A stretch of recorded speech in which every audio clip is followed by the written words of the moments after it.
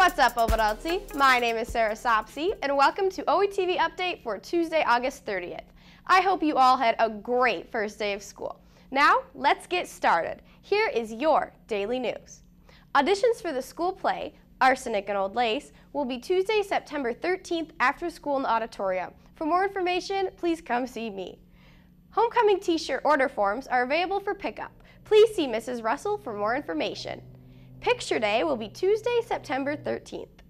Moving on to sports, the freshman volleyball team has two home games against St. John's and PW starting at 5.30. The boys tennis team is also home, and their games start at 4 against Hemlock. Let's see what's cooking. Today for lunch, we'll be having chicken fajitas.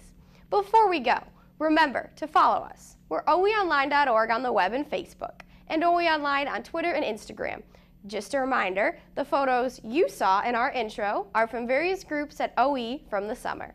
If you have some pictures from what you did over summer break, share them with us on Facebook or on our website. That's all for now. Have a great day, OE.